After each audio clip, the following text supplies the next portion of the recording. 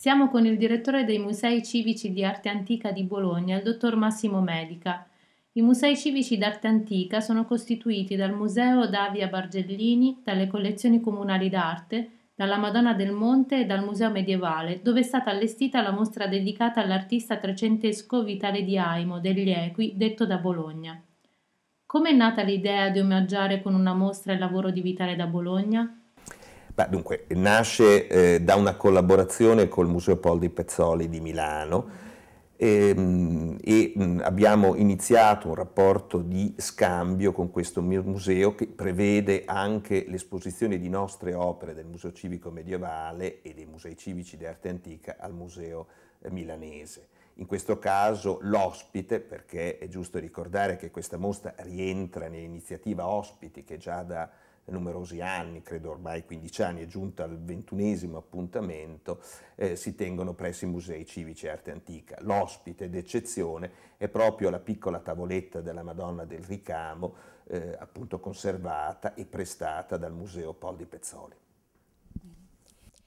Il Museo Medievale, attraverso le tombe dei dottori, conserva la testimonianza della vivacità e dell'esclusività dell'ambiente universitario bolognese, intese come sensibilità umanistica. Quanto questo ambiente è stato rilevante sull'apertura culturale di Vitale?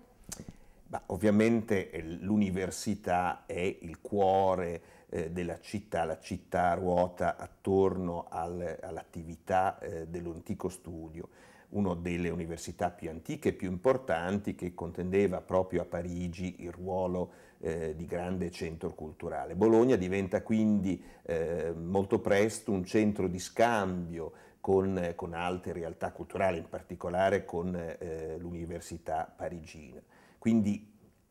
questo si traduce anche in attività di scambio eh, di opere d'arte, anche dal punto di vista artistico.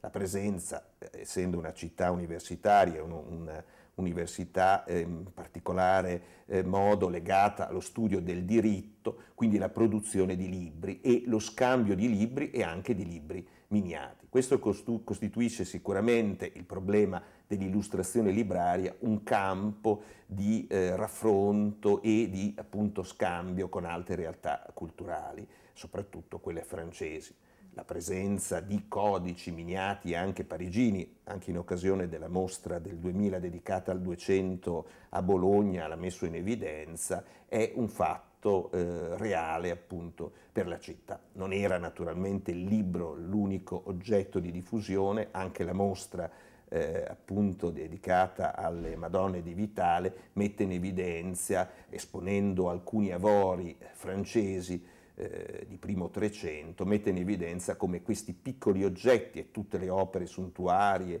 e di piccole dimensioni contribuirono, proprio per il fatto di essere trasportati, a, ehm, a far conoscere, a trasmettere modelli.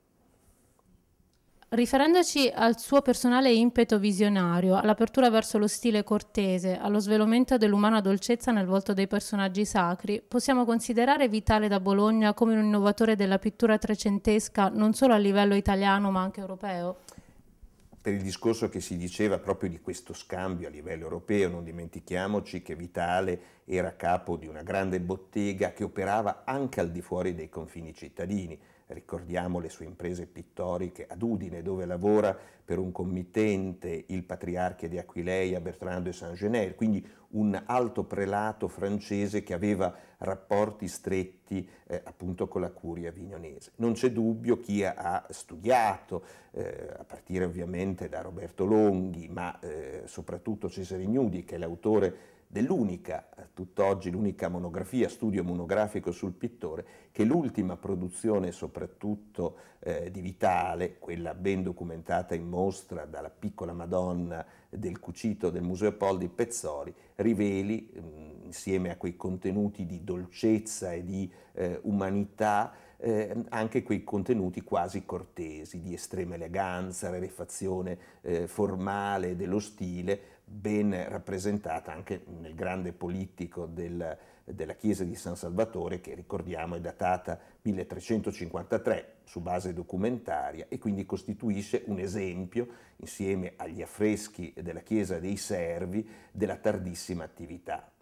Per certi versi proprio questi contenuti anticipano in qualche modo eh, quello che è il gusto ehm,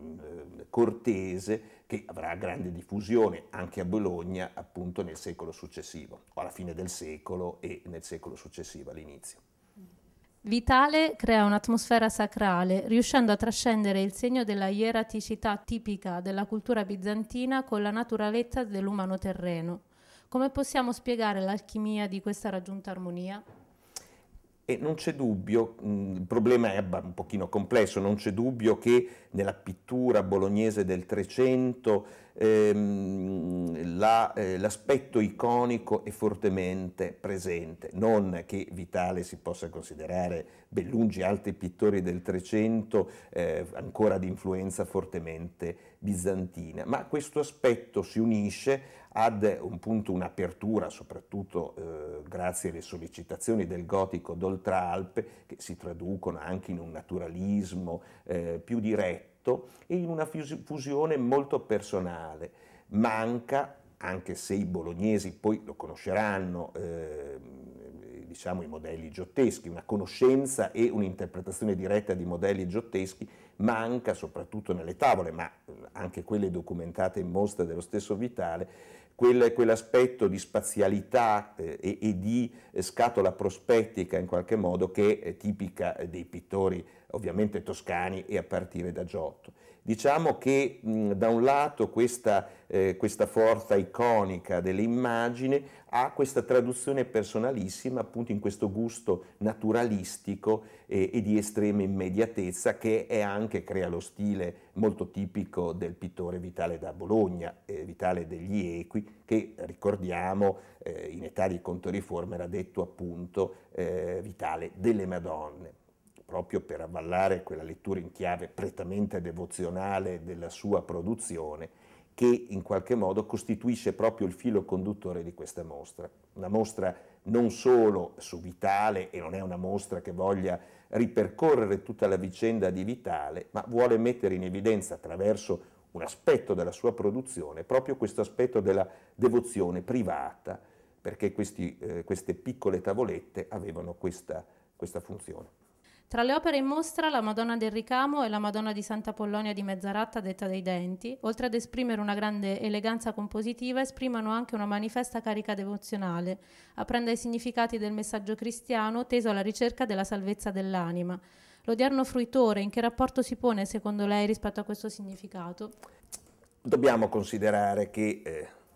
le tavole che sono conservate nei musei, a maggior ragione quelle che vedete eh, all'interno della mostra, eh, hanno perso in parte la loro funzione originaria, che era quella di essere delle immagini votive legate strettamente ad una devozione privata. Le tavolette erano conservate facevano parte dell'arredo domestico, altaroli, tabernacoli, piccole tavolette erano collocate spesso all'interno delle camere da letto, illuminate da candele, in modo che giorno e notte le persone potessero rivolgersi costantemente. Oggi noi vediamo queste tavolette illuminate da faretti, isolate, quindi fuori dal contesto originale. Quindi risulta un pochino difficile forse per il fruitore immaginare nuovamente quello che era la funzione, ma anche un po' eh, come dire, l'intento di questa mostra, che come dicevo aveva proprio ehm, la volontà e, e l'idea di esporre opere di un grande artista, ma al tempo stesso di fare capire quello che era la funzione originale. Probabilmente attraverso questa mostra, o almeno lo speriamo, il visitatore si domanda anche quella che era la funzione e in qualche modo può ehm, stringere nuovamente un rapporto più diretto eh, con l'immagine, guardandola non solo come un'opera d'arte, ma anche proprio nella sua funzione originale.